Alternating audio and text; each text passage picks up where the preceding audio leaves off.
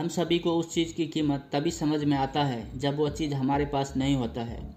यही इंसान की फितरत है। यही वजह है कि जब सर्दी के मौसम में सूरज कुछ दिन नहीं दिखाई देता है, तब हम सबको सूरज की कीमत पता चलता है। आज हम जानेंगे सूरज और चाँद के इंटरेस्टिंग फैक्ट के बारे में। क्या आपको पता है सूरज क्यों प्रकाश देता है? क्या आपको पता है चाँद क्यों चमकता है? आज हम इन सभी के बारे में बहुत ही इंटरेस्टिंग फैक्ट को जानने वाले हैं। अगर आप मेरे चैनल को अभी तक सब्सक्राइब नहीं किया है तो ज़रूर सब्सक्राइब कर ले और बेल आइकन को भी ऑल कर दे, क्योंकि इस चैनल पर हमेशा आपको बहुत ही यूजफुल फैक्ट मिलती रहती है। और आपने सब्सक्राइब कर लिया है तो thank you so much hello friend मैं हूँ मुस्तफ़ा और आप देख रहे हैं फैक्ट बाजी यूट्यूब चैनल तो चलिए शुरू करते हैं। सूर्य, सूरज हमारे सौर्य मंडल के एक तेजस्वी तारा है, जो पृथ्वी के जलवायु और मौसम को कंट्रोल करता है, यानी कि उसके लिए जिम्मेदार है। चलिए हम जानते हैं कि सूरज कितनी तेजस्वी है। इस बात का अनुमान आप इस बात से लगा सकते हैं कि सूरज का अंदर भाग का तापमान एक करोड़ उनपचास लाख निन्यानबे हज़ार सात सौ छब्बीस डिग्री सेल्सियस है।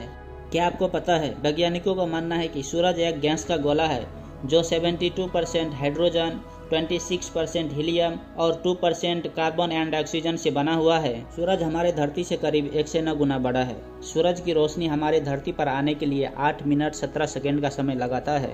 सूरज का गुरुत्व आकर्षण इतना शक्तिशाली है कि 6 अरब किलोमीटर की दूरी वाले प्लानिट भी इनकी गुरुत्वाकर्षण बल के कारण परिक्रमा करता है। इसी हिसाब से अगर कोई भी ग्रह का चीज़ सूरज के 22 लाख बाईस हज़ार किलोमीटर के क्षेत्र में आता है तो सूरज उसको अपनी ओर खींच लेता है। ऐसा नहीं है कि सूरज ही पूरी आकाश गंगा में सबसे ज़्यादा तेजस्वी तारा है। हमारे आकाश गंगा में कई सारे ऐसे तारा है जो सूरज से कई गुना ज़्यादा तेजस्वी और बड़ा है।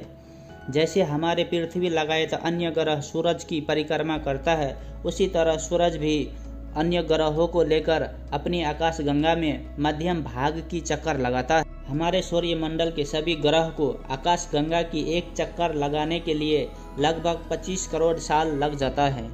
क्या आपको पता है, जितने भी पूरी सूर्य परिवार है, उसका 99.86 परसेंट वज़न सिर्फ़ सूर्य की है। चलिए हम सभी थोड़ा चाँद पर नज़र डालते हैं। चाँद हमारे पृथ्वी के एकलौता उपग्रह है। वैज्ञानिकों का मानना है कि आज से चार से पचास करोड़ साल पहले थैया नाम का उल्का पृथ्वी से टकराया था, जिसके वजह से पृथ्वी के कुछ टुकड़ा टूटकर अलग हो गया था, जो कि बाद में चाँद बना। क्या आपको पता है चाँद का वज़न करीब इक्यासी अरब टन है। चाँद का व्यास धरती के व्यास का सिर्फ़ चौथा हिस्सा है और चाँद का क्षेत्रफल अफ्रीका के क्षेत्रफल के बराबर है। यानी कि चाँद का व्यास तीन हज़ार चार सौ छिहत्तर किलोमीटर है।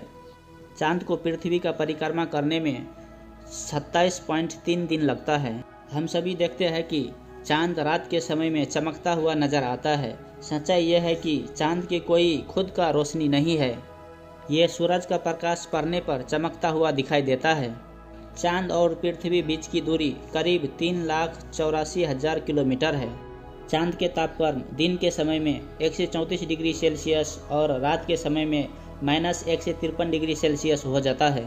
सबसे पहले चाँद पर कदम रखने वाला अंतरिक्ष यात्री उन्नीस सौ उनहत्तर में अपोलो 11 मिशन पर गए। नील आर्म थे। नील आर्म जो पहली बार चाँद पर कदम रखा था, उसका निशान आज भी मौजूद है और माना जाता है कि ये और कई साल तक मौजूद रहेगा।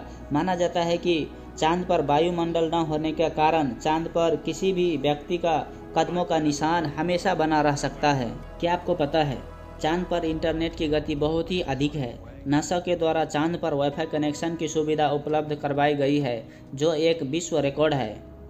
चाँद पर वाईफाई कनेक्शन की स्पीड 19 एम का है। ऐसे ही ज़बरदस्त इंटरेस्टिंग फैक्ट के लिए हमारे channel fact Bhaiji YouTube channel को ज़रूर सब्सक्राइब करें और लाइक कमेंट शेयर करना बिल्कुल ना भूलें।